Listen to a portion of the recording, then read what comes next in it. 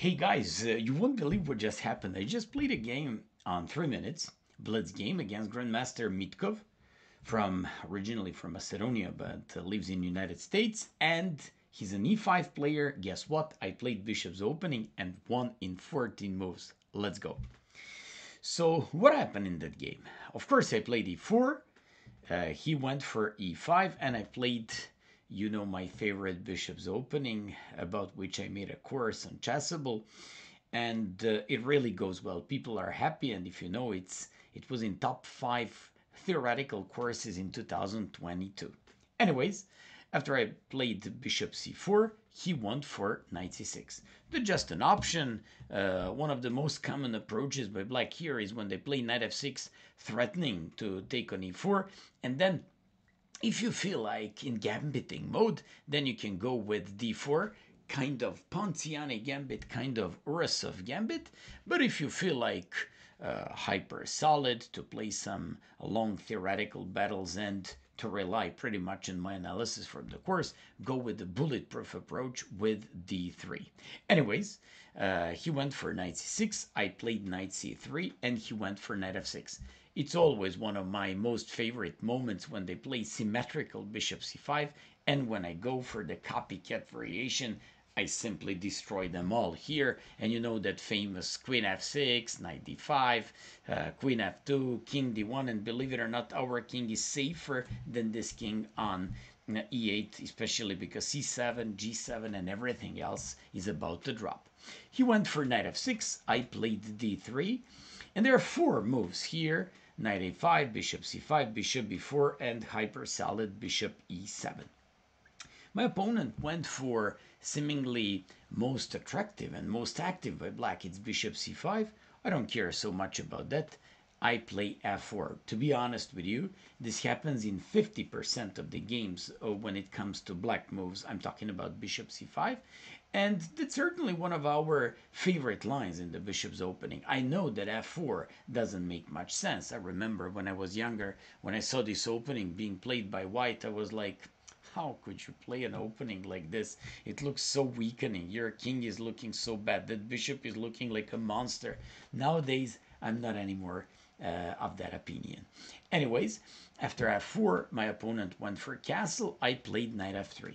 That's simply uh, the best move. I spoke to one of my students and the guy uh, who uh, have that who has that course, uh, Bishop's Opening, and he told me, Maya, um, whenever you said, whenever you can, you should be going with f5. And in this case, if you go with f5, um, he's gonna go with the knight d4 followed by c6 and d5. So that's why I believe it's a little bit better to do knight f3. Anyways, when I played knight f3, my opponent went for knight g4. He immediately wants to take advantage of my weak dark squares, of potentially weak f2 square, of my weak king, of the queen, and the rook that are absolutely bad. But you know what? If you're familiar with the main ideas of the bishop's opening, uh, you should feel very comfortable in a situation like this, even though I know that at first glance this position looks so terrible to you. I played knight g5 straight away. I am threatening this knight. He can't play knight f2 because I'll be playing queen h, h5 and I'm just going to attack both. Pawns on f7 and h7 and he's about to resign. So that's why he played d5 attacking my bishop with tempo, defending his knight with tempo, and that's one of the best engine moves as well. I capture by knight because my philosophy was let me just add one more piece into the attack onto the king side. And here, it's a very important uh, theoretical moment. Uh, he went for h6, but instead of going for h6, he should be going with e takes f4. Then we play bishop takes f4, threatening on c7, and they go h6, threatening knight. Few days ago, uh, when I played a game in the same opening, I played h3, which was a little bit surprising for my opponent. There was some FM, and uh, the guy captured on g5. I captured on g4. He took my piece, and everything looks so cool, like they're up a piece. But they actually forgot that with the uh, absolutely fascinating bishop on c4, they can never play any f6. And on top of all that, my queen went on h3. My opponent played one more move, played knight e5, and when I moved my queen to h3, he resigned. Just like you see, uh, this is how you should be playing this variation. So that's why after h3, they gotta go to e5. You bring the knight back to f3. They take rook e8, play a little bit illogical uh, queen e2 because I don't like so much placing my queen uh, under the x-rays of the rook. He went for bishop f5, attacking my pawn on e4, uh, e5, f6, long castles, and bishop e3, knight e4, queen f2. This could be possibly critical line of this variation. Uh, none of these guys ever played that against me. And after knight g5, my opponent went for h6. I was very happy when I saw this move because I was like, okay, maybe you want to attack my knight, but it's not a big deal. I'm not going to play knight f3 anyways because I'm familiar with the ideas from the course. So f5. Now I'm disconnecting by f5, uh, knight on g4 and the bishop on c8. Okay, I'm saying feel free to take, be my guest, but then I'm going to capture on g4. I'm going to capture next move on g5. You can never play f6 because I'm going to give you check and you're going to be in real danger. So after f5, knight f2, he goes after queen and the rook and queen h5. Once again, we reached a very interesting moment of this game. It's already 10th move. Don't forget, I'm playing against GM, pretty good player, was uh, almost 2600 FIDE, uh, nowadays he's around 2550 and I still defeated him in 14 moves. And you're wondering how. You already can see like lots of tactical threats. My opponent, uh, I was expecting to take on g5, which happened to me in a couple of bullet games. Then you play bishop g5, and when they play queen e8 or whatever, you just go knight f6 check, winning the queen, actually, that's checkmate. And when you when they capture, you recapture, and they can't stop queen h8 or queen g5 with mate. That's why when I played queen h5, my opponent immediately went for knight a5.